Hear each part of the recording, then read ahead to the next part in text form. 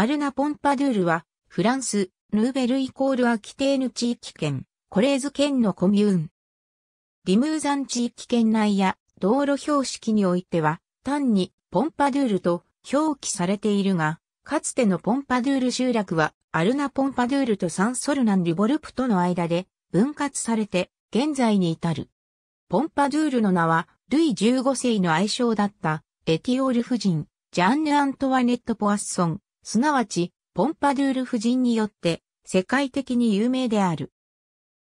王は彼女に、ポンパドゥール城と、ポンパドゥール公爵夫人の称号を与えた。現在コミューンの名は、馬や競馬の世界と結びついている。アルナックには、ガロローマ時代から人が定住していた。1026年、ポンパドゥール子爵権、ラストゥール領主によって城が建てられた。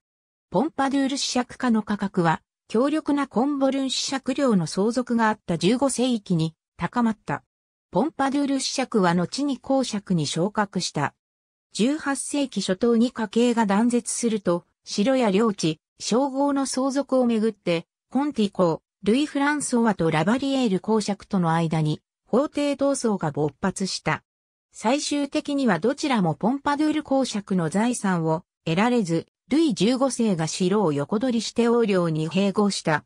1745年、王はお気に入りのエティオール夫人にポンパドゥール公爵夫人の称号を与えた。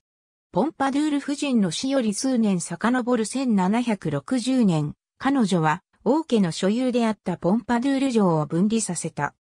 1751年にポンパドゥール夫人が私的に設置した種馬飼育場を基礎として1761年にルイ15世は王立種馬飼育場を創設し、これはフランス革命まで繁栄した。アンシャンレチームの崩壊で種馬飼育場は閉鎖され、1795年に総裁政府によって復活させられた。1872年から国立種馬飼育場となっている。